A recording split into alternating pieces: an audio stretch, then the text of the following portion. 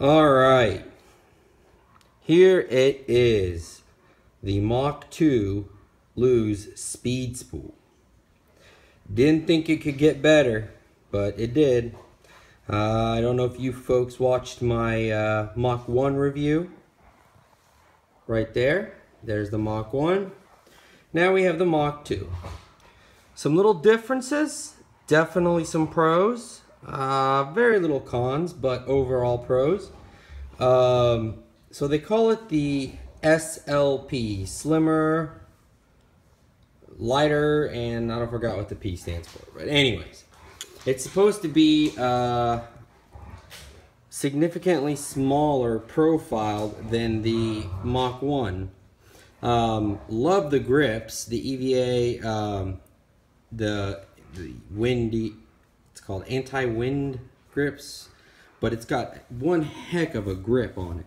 I mean, this isn't going anywhere when you got it. Uh, same pretty much uh, features. Got the uh, 10 bearings. Let's see if we can get that. It's up here. There we go. It's a 10 bearing system. And 7 5 to 1 gear ratio. Now, as opposed to the Mach 1, which is 7 1 to 1. Get it to focus. There we go. Now, rod superiority overall. Now, the Mach 1 is a 610 system, uh, medium heavy. This thing, um, it's uh, it's a new technology for uh, um, rod. It's actually seven foot medium heavy Let's see if we can get that to focus. Okay. With a fast taper. Now this thing feels like a medium action rod, which is exactly what I was looking for. Um, as you can see them side by side, you tell me, see this one versus the Mach 1, you can tell it's definitely a little bit smaller. It's got the U design, the U form, the U uh, form right here. I got this spooled with um, 40 pound Berkley, um, the new braid that they have that's like supposed to be like a Japanese uh, handcuff thing. Uh, the tighter you pull, the tighter it gets. Um, now, the difference is, is the, the, the Mach 1 has um, both in both centrifugal and internal magnetic braking systems. Centrifugal and magnetic. This is strictly external external magnetic braking system. It does not have an, an, internal braking system. Um, now, to take the Mach 1 apart, as you remember, um, you just pull the tab over and the slide comes off. The Mach 2 has a pretty cool lever. I don't know if I can get this on camera or not, but it's right there. It says open. So what you do is, let me see if I can get this. You push it. That's it. And, hold on, let me see if I can pull this off. As soon as you push it, the slide just comes right off. Just trying not to take this pull with it. There we go. Okay, there's your magnetic braking.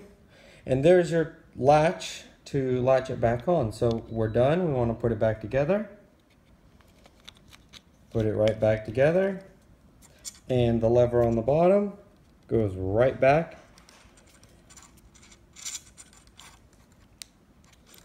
Hard to do this with one hand.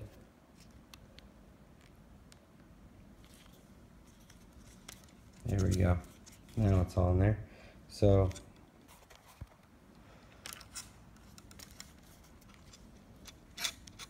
Okay, so you push it, okay, all the way back till it snaps. And we are good to go. Now I'll tell you what, folks. I actually just tried, just came in the mail today. That's the box it came in. And spooled it with braid because I wanted to uh, braid one of my uh, rods. Uh, a little bit of my arsenal over there. But was definitely curious about how it casts. And I'll tell you what, I was able to cast this thing damn near right across the lake. I mean, that you can, with braid on. And I've always, I don't know about you, but with me, I've always had problems with braid and uh, long distance casting. Um, I guess it depends on the braid, of course, and then the and then the reel that you got and the pole. But this overall combo, whoo, cast like it was nothing, like it was regular mono. I mean, I was casting this thing like like miles and miles ahead. Um, it took very little time to dial it in. I am still getting the hang of it. I'm still learning about it. Like I said, I just got it in the mail. I, I, I actually ordered it a while ago and then when I ordered it, they said, oh, wait a minute, it's not in stock. It's actually a pre-order. But um, here it is. I finally got it. And I was checking YouTube. Not very many reviews. So I wanted to get that out there. So let's go ahead and get a whole shot of it. By the way, it's also got the lube port back here, which the Mach 1 does not have. Um, and, and the thing is with these, it only comes in 7 foot medium heavy. Okay, but look how many line guide rods, or line guides it's got. I mean, this is definitely a sensitive rod. I'll tell you that right now. You can feel the entire, whatever, like anything, you feel the bottom, anything bumps it. I mean, you're, it's a very sensitive, I'm very, I'm very big on sensitive rods. Um, and this thing is extremely sensitive. All right, well, here it is, and I hope you enjoyed it, and I hope you, uh, this kind of made you either want it or not, but my recommendation is if you like, if you like any of the Lew's products, this is one heck of a combo. I believe it's 179.99 on uh, uh MSRP on it. However, uh, if you go on Dick's online right now, I believe there's a promo that's still active that uh, gives you a percentage off with uh, shipping, free shipping. So I ended up getting this for 130 something out the door. I mean, shipped. So I feel like I, pretty, I got a pretty good deal. Um, if you guys find better deals out there, feel free to comment. Again, thanks for watching, and this is the Mach 2 speed spool. And uh, just for old time's sake, here is the Mach 1. Alright guys, thanks for watching. Comment, like, subscribe, whatever it is you do. I'm not too big on the whole YouTubing thing. I just use it for information just like y'all do. Um, thanks again.